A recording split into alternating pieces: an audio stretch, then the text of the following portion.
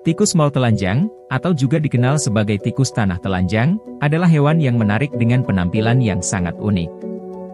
Jika diperhatikan, kita akan melihat bahwa tubuh tikus ini hanya memiliki rambut yang sangat sedikit, sehingga kulitnya terlihat seperti terbuka tanpa penutup. Warnanya bervariasi antara merah muda dan merah keabu-abuan, memberikan kesan yang menarik pada pandangan pertama.